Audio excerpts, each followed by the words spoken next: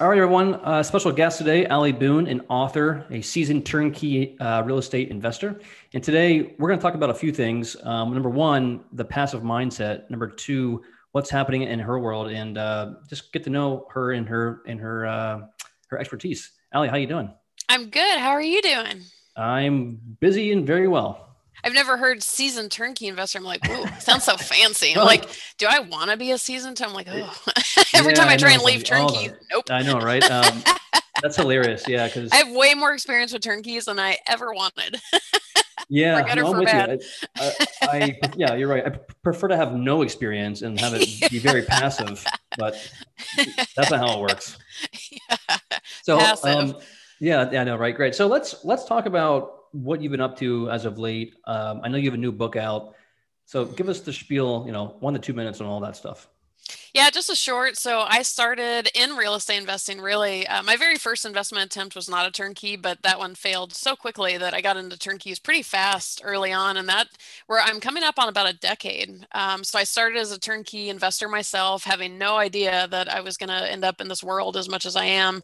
Um, that eventually led to me dropping out of my corporate job. I used to be an engineer, so for the past decade, um, I was buying turnkeys for myself, but also helping other people buy. It kind of was kind of an organic um, uh, progression, I guess, if you want to call it that. And a few years ago i started a book because you know one of the things that i'm most passionate about with investing with life with whatever is kind of the psychology of it and the mindset. And you know something i was seeing a lot with real estate investors people trying to get started is kind of a hiccup in the mindset part of it. You know there's so much information online. You google how to be a real estate investor. You have all this stuff getting thrown out thrown out at you. And you know real estate notoriously has a pretty big failure rate. And so yeah. as i was watching people especially with turnkeys one cool thing about them is it brings in a lot of brand new investors and rightfully so but you know i was able to really start watching people and see where a lot of the challenges with people getting into real estate investing were and that is what kind of led to me writing the book. It's called not your how to guide to real estate investing life lessons on hacking your mind before you hack your wallet and it's i call it kind of like the prerequisite to the how to guides because it's more mindset based spoiler alert there's one how-to guide in there but um, you know when you google how to be a real estate investor and everyone's like you need to flip properties. You should wholesale. Okay maybe and it's not that the how-to guides are wrong but you know there's so many options in this industry like how can you take a step back and better set yourself up so there's not as high of a failure rate. You know, people tend to just go flying off into the deep end without their floaties on. Oh, and oh, yeah. that's what causes a lot of turmoil in this industry. And, you know, people have one big loss right out of the gate and they're jaded forever. And I think it's such a great industry. I don't want to see so many people get hitched up in it. So that's really what led to writing the book. And that just came out in summer of 2020.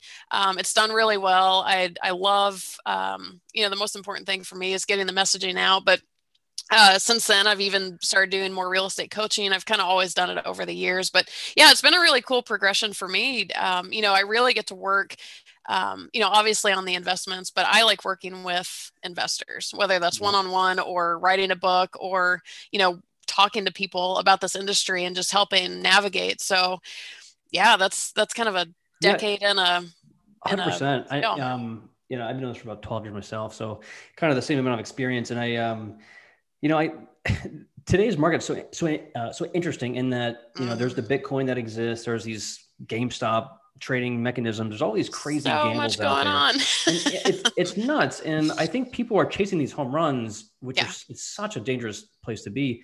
Yeah. And when you take it back to real estate, you know, I have a lot of investors that I work with too. They're always looking for the next big thing. It's like, well, yeah. if you're if you're making 10, 12, 15% on your money, what why are you trying to get 20? Yeah. in a complete in a category that you know probably nothing about. Yeah. You know, and it's in some ways real estate um, is forgiving uh, in in a, in a lot of ways. I mean, I've made mistakes in yeah. real estate and still came out at least break even. Yeah. And I, I do encourage investors to think about having a passive, boring portfolio. Make that oh, 12, 15% yeah. and just let it sit, you know, versus having to chase down Bitcoin trades and all this crazy stuff. Yeah. So, you know, I I'm seeing a dynamic in the market where a lot of investors do want to get into turnkeys. They do want to get into real estate, but they also want to dab their toes in a lot of different places. Yeah. And that's where I see mistakes happening is that they're trying to learn so many different pieces yep. of real estate versus just focusing on, on one thing that works. Yep. What, what yeah. do you see? I seriously cannot agree more. And it's been kind of one of the biggest things that I've been talking to people. You know, I, I, said I've been doing a lot more coaching and stuff. And one of the biggest things that I see, and and I was one of the culprits of this when I was trying to figure out my way out of the corporate of, out of my corporate job. I didn't know how I was going to do that. I didn't know it was going to be real estate. And what I was doing was I was learning a little about a lot. And what I found figured out after a little while of doing that is I wasn't getting traction on anything. And I was like, okay, I got to stop learning a little about a lot. I need to pick something and niche That's it right. down because you've got to go deeper in the subject. And and this is what I see happening with a lot of people today is again, go on the internet, how to be a real estate investor. And there's so much information, which on one hand is great, but because there's so much information, I, I see everyone doing exactly what you're describing is staying too wide versus going deep. And so if you, you know, let's say you're like a rental property investor or whatever, and it's like Bitcoin, Bitcoin, you know, like none of that's wrong necessarily, but when you're sporadic about things, you've got to know more than surface level information. And I think that's really what gets people in trouble is, you know, if you let's say you're a flipper, great, and you you've done really well at that, you want to shift into I don't know, shift into whatever syndications, rental properties, whatever. It's you can do that certainly, but you've got to give yourself time to learn a deeper level of information because if you stay on the surface about everything, you're literally just like throwing money darts all over the yeah, place. Chances are right. with a blindfold on. And yep. that I think, I mean, exactly what you describe is it, it's what gets so many people in trouble because you've got to know more like I can't tell you how many people come to me and they're like, "Hey, do you think this would be a good investment?" I'm like, "Do you?"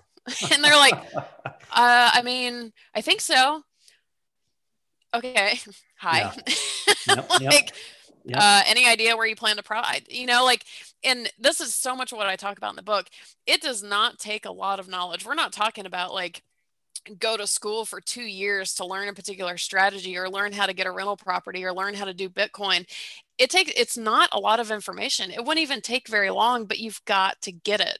You know yeah. bitcoin's a little bit of a separate thing but like real estate like there's just some very basic things. If you check these boxes you're probably ready to try something but people don't even get to those boxes. So yeah i oh gosh i could not agree more well, with that and the and the trend setting you know it's Ugh five years five years ago it was everyone wanted to be in the west coast investing in you know oakland and san francisco or you know some hot seattle market um, yeah. which that, that was way too late. And now everyone wants to be in austin texas and it's like you're five years too late. Yep. And it's so with turnkeys everyone's like i want to invest in atlanta. I'm like you're eight years too late. Yeah you're right exactly. Like, so it's like you you have to to your point um and if you're only at the surface level, you're only going to see yeah. the trends and follow the trends. And by that time, everyone is already there buying the best deals. Um, so I, you know, I think what you make as a point is a really good one is pick a niche, spend yeah. two years, three years learning it. Yep. Um, and, and once you master it, go on to something that yep. kind of deviates a little bit, right? So, Absolutely. to example, if you start in flips, great. Now you have the skill set to understand what it takes to, you know, build uh, walls, two by fours, plumbing, all that mm-hmm. stuff maybe now it's time to go into the BRRRR method where you can do yep. some wholesaling, pick up a property, do a BRRRR you know what it takes to do the contracting, then you're all good, right? Yep. But you wouldn't do a turnkey buy and just dive right into a commercial building flip, no. right? No. So Oh, and so many people try. They they even try and skip the turnkey part. They're like, I found this 18 unit apartment complex that oh, needs yeah. work. And I'm like, have you ever invested in anything? And they're like, no, it'll be my first one. Yeah. That's a yeah, that's a wave of uh, cool. yeah, yeah and you know what's what's what's fascinating too is um I, I don't know about I don't know about more than any industry, but for sure, real estate. I don't know how to say it. It's there's a lot of scumbags out there. Oh. You know, and I could list a bunch right now. Some that have had massive class action lawsuits and everything else. Yep. And uh, I'm sure you, you're thinking. I, like I think you're thinking the same ones I am. And uh, they're they're good at their trade of selling. And mm-hmm. I've seen a lot of bad deals go down where it's like, you know, if you just spend another six months learning, even three months doing the basic due diligence, you yeah. probably wouldn't be in a situation. Yeah. And you know, to make all of that more complicated, you know, and that's why I say like real estate investing is a hard industry to navigate. You don't know who the scumbags are. You don't know what you don't know. None of us learned this in school. Like I get it. We're it's it's a difficult industry to navigate. And on top of all of those things, you know, I I see so many people relying on the person and I'm like, or you could learn how to do due diligence on the property. You know, those scumbags yeah. ultimately don't even matter because if there's a property in front of you, if you learn how to analyze that property and you know what you're looking for, you know the risk, like the person doesn't matter. But yep. people don't even get that far in order because then the scumbags won't matter. It'd be kind of a great That's solution. Right. Uh, yeah, but, 100%. So if you have if you yeah. have things in place that are systematic uh, to verify or check or do the mm-hmm. analysis on a property, it kind of solves for itself, right? So yep. If you understand how to pick a market, you know the key the, the key variables there. If you know how to do an inspection report uh, and judge a property by the viability of the mar- other property in a certain neighborhood, by the tenant class, and all those basic things, you could probably weed out the, the appropriate value of that property. Yeah. Right. So right there is it, you know is a big piece of it, and then just yeah. knowing that you're not buying a property with a bad foundation or yeah. a roof that has holes in it, or you know things that are yeah. pretty obvious. Um, so I I think you're spot on. Yeah. So let me let me ask you. So, what do you you you obviously have a lot of you know clients that that come to you, and and you're obviously following the trends in the market. In the last say two months, what are people coming to you most with, whether it be questions or ideas? What are you seeing most? Um, I would say I have two answers because you know I, I work with property sales on one end of it, and then I do the coaching on the other end. As far as like people wanting to buy properties, I mean, as you probably know as good as I do, inventory is at an all time low. I mean, I heard a statistic, was it yesterday, that not only are there more people looking to buy houses than there are houses available, there's actually more licensed real estate agents in the US than there currently are available houses. And I was like, wow, oh, that put a whole new perspective. Like, it's where inventory is terrible right now. So, what I'm seeing on that end uh, is number one people looking for properties but number two it's bringing up this conversation about it's because i work with rental properties i can't speak for flips or you know that whole industry but for rental properties you know rental properties make money in five different ways. I won't dive into the um, nuts and bolts but you know cash flow appreciation tax benefits um, equity build and hedging against inflation. And what the current inventory shortage is causing is the properties i work with with turnkeys they're always been known for cash flow. And cash flow is getting lower because not only are prices high inventory is low but now the interest rates are going up also. And so what i'm seeing is people being forced to get introduced to understanding the more overall value of you know the returns of a rental property because you almost have to understand those at this point because when cash flow looks minimal because we're down to like new construction lower cap rates you know interest rates now so lower cash on cash. Um, so it, it's forcing people to kind of look into that and the complication with that when people are looking for properties I, I have so many people coming to me they're like i would like an $80000 property with a 12% cash on cash return and i'm like have Aren't you looked in the market lately? Like, um, I'm sorry, was that the U.S.? You okay. Um, so I'm seeing a lot of confusion on the buying end of it. You know, just aside from logistics, also construction delays. I mean, COVID just really messed with everything. So there's a whole bunch of confusion on the logistics side of buying properties, but also kind of the mindset of, you know, how do you determine that this really is a good property? On more of the coaching side, kind of like I mentioned earlier, I would say 90% of the people that come to me are either new or newer and they're trying to get their footing they're trying to get some traction and there's just I, i'm looking over here because i have a computer screen over here it's like the internet's like hello you know yeah, there's yeah, yeah. there's so much information and that is what i'm seeing across the board is people are just there's too much information. I mean, I guess it's a great problem to have, but then you hear all of these things and you don't you don't know which way to turn, you don't know which way to like yeah. okay, uh, uh, uh, conflicting opinions, you know, like uh, well, so yeah, just a whole bunch of confusion across the board right now. 100%. And so I'll, I'll hit on, on the last point just quickly. So um, part of it is that in things like YouTube, right? Mm-hmm. it's a clickbait market. So yep. fear is a big problem Yep. What I mean is, you see a lot of these market crash headlines to get clickbait. Yep. And I, for I don't know, 18 months I've been hearing this. I've been saying I don't foresee a crash. If anything, with these higher interest yep. rates, we might plateau back to yep. a normal, normalized three percent appreciation. Mm-hmm. And um, it so that's happening. So the, you get a yep. lot of fear mongering with a lot of people who don't know what the hell they're talking about. And then on the other side, you're right. I this is where I have had problems um, for some time setting realistic expectations on yeah. the returns, right? And yeah. so while we, we won't get into the details of it, your your mention of the five ways to make money in real estate is really important because when you do factor it all in together, you're making 18 to 25% return on your money. Yeah. Annually, yeah. right? And it's that's a really good return and it's less volatile than the stock market, which makes it a safer investment. And you're mm-hmm. probably beating the market. Yep. Now, just on the cash flow standpoint, which is where I think where people focus most on, that has compressed substantially. Back in yep. 2015, when I was getting people in, into turnkey deals, I had to sell the concept of it. Like I, I couldn't yeah. get people to buy them, right? And fast forward to 2017, 18, I can't find enough inventory to even sell. Yeah. You know, Same. but but back then it was 16, 18% returns on, on cash yep. on cash. So Today funny you're saying this. I'm like, oh my God, you're in my head. Like those time right? frames are exactly what I'm like. Exactly. I had the I, I had the inventory then and not the buyers. Now I have the buyers, not the inventory. And I'm yeah, like, 100%. what just happened? And there's not even as much cash flow now. Right. So, so, so back in those days though, um, if you had been buying turnkeys back in 2015 2016 those properties are probably making 30% plus rois annually which are if just, not if not more honestly exactly, with the appreciation like it's been lately oh man. Oh my goodness yeah uh, crazy right? So going forward i think it, if you can find a cap rate or a cash on cash roi of 5 to 7% and you have enough cushion for the for the maintenance and it's in a good market you're probably buying an okay deal. Um, yeah. you know and another thing i've i heard too i'd be curious to get your thoughts on this I heard this from some very seasoned fellow. Uh, was doing it for like 40 years in real estate. He said it's it's foolish to think that you would ever get a home run deal, right? Because mm-hmm. who would ever give up a home run deal? The first person that sees it is going to take it and keep it. So the best you can expect is a good deal. Uh, you're never going to get a usually unless you're in the yeah.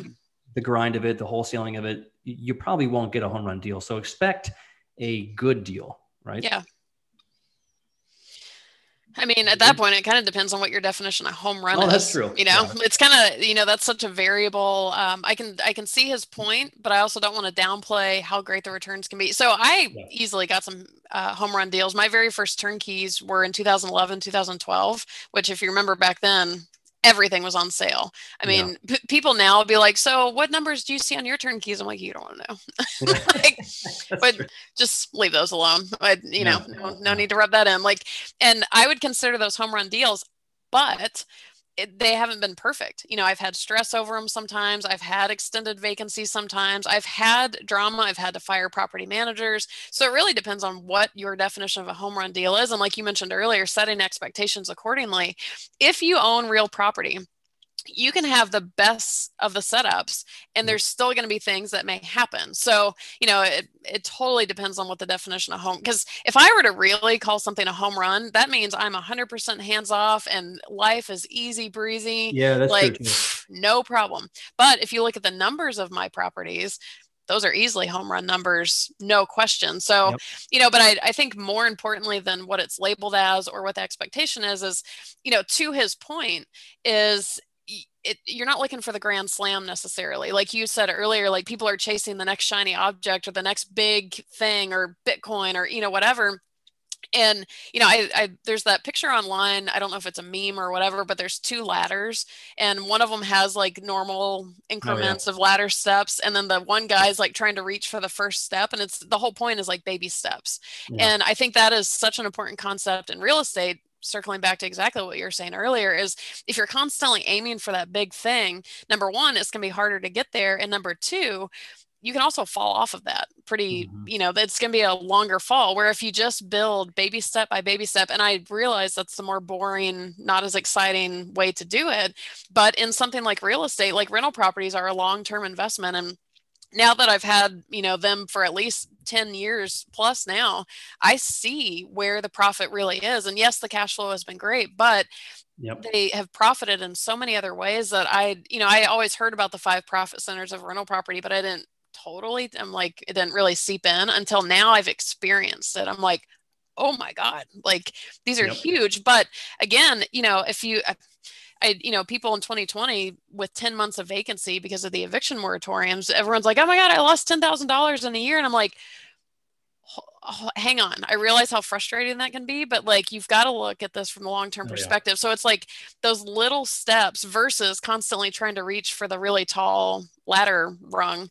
Yeah, no, I think you're spot on too. Um, and again, I, I think um, I don't know if it's like a millennial thing, but I, I do see there's a lot of curiosity of unique or, or alternative investments, whether it be yeah. cannabis or solar panels or you name it, it's something new, and it's like, well, how much how much do you really know about that? Like, yeah. that, you know, like again, real estate's not, it's it can be complex depending what you're doing, mm-hmm. but it's not actually that complex if you spend a little bit. Doesn't have to be right? Yeah. it's it's, it's only complex because we didn't learn about it in school. Like because we have right. no idea what we don't know. But once you really start yeah once you start diving in it, it gets more simple. And one thing i was going to say earlier i just thought of again is you know the other thing to make all this more complicated weird when you're talking about the scumbags like the other thing is even the non scumbags one thing that I've noticed in real estate is none of our journeys are exactly like another person's. My journey has been different than yours, who's been different than it. Like, you know, so people go to like the guru seminars or whatever, and they're wanting someone to map out their journey. And it's like that is one thing about this industry is you have to be willing to create your own journey. Like you can get all of the basic information but what you do with that and how you really execute your real estate empire or whatever you're trying to accomplish it's going to be probably a little bit different than the next guys because everyone's situations are different everyone's means are different everyone's resources are different. And you know that that is a big part of it too is you know you have to be able to take some initiative um, and that's what also further encourages this like baby steps kind of thing because when you have to figure so much out about an industry on your own how exactly are you going to reach that really tall ladder rung you know? No, so a, that's a great point um you know it, it's it's not so much well it is i mean it could be resources it could be time um, but you're right everyone's journey is different in fact i have i have clients skill sets that, everything skill sets um, i have clients that started in one idea completely sold all their properties went to BRRRRs so got rid of all those and we're like you know what i'm just going to be a hard money lender you know so i I want the most passive. I, I can relate.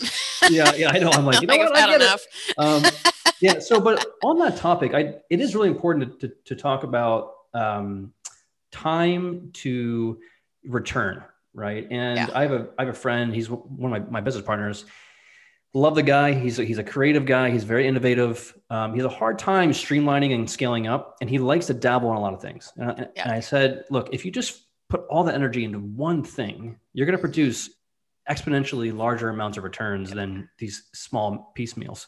Yep. So what what is your philosophy on time versus the return that you get?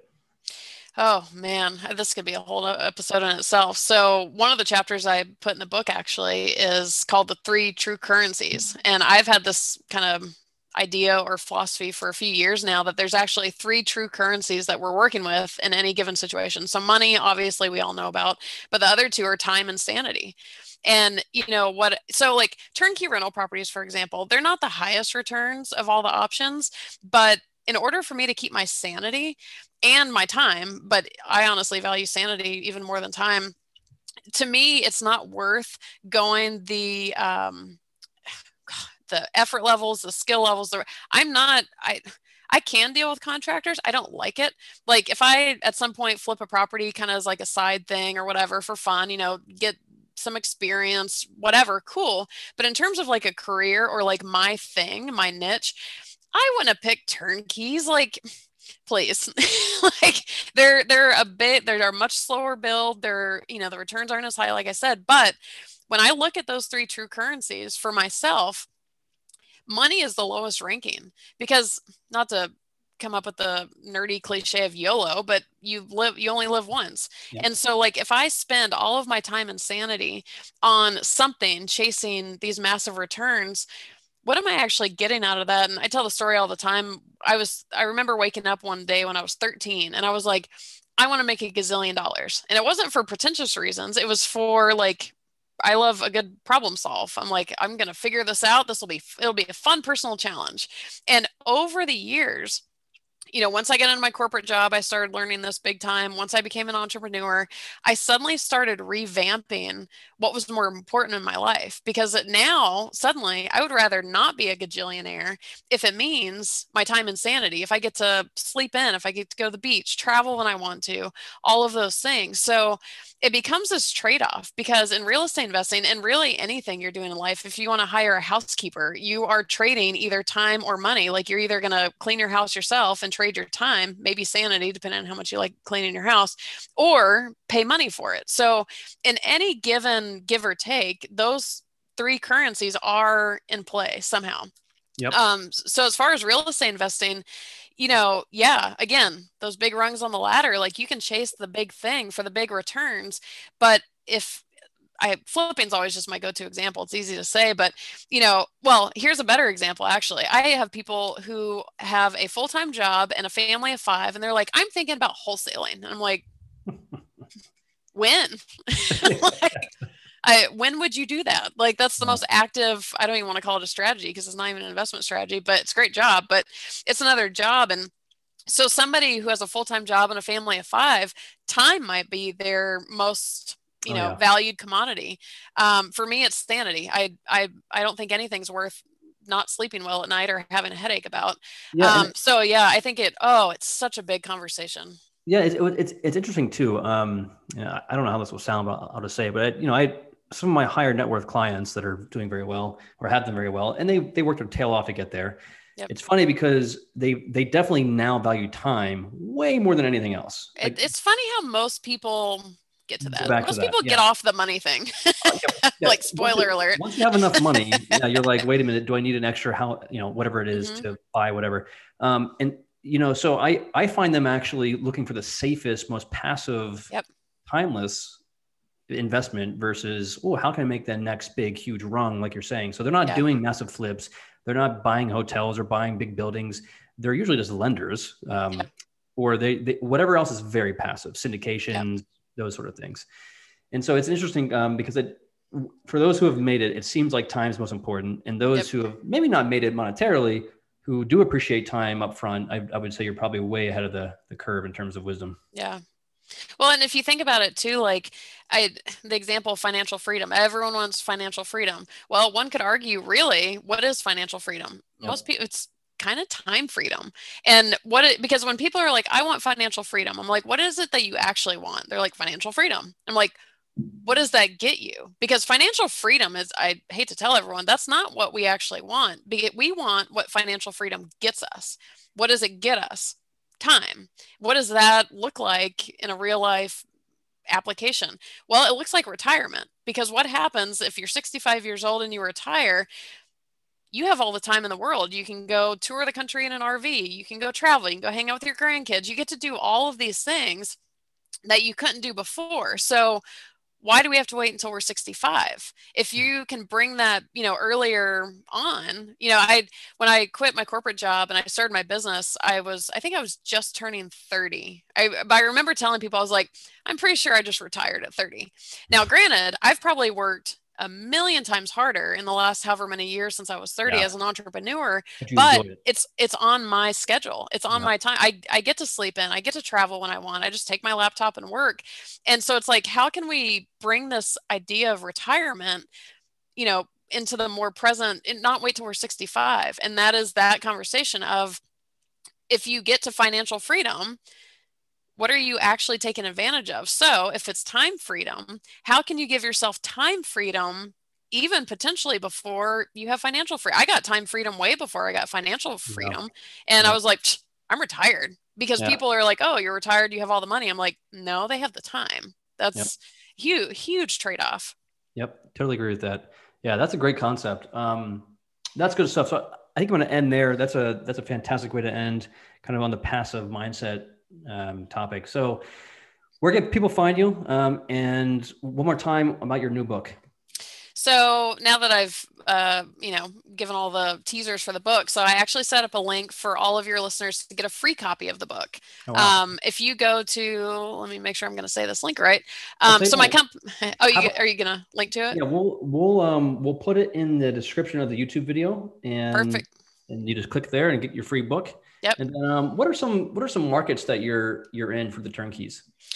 Oh, those are tough right now. Um, honestly, it's shifting so much to new construction because we're we're running out. The only market we have, well, that's not totally true. Right now, we've had Kansas City has been um, the, a little bit consistent as far as inventory. Um, it's not where I'm really pointing people to necessarily. Um, the deals are fine. I don't think they're anything yep. super extravagant. Um, we're about to get Cleveland back. We lost Cleveland for a while. Ohio's been one of the hardest hit um, with the foreclosure moratoriums.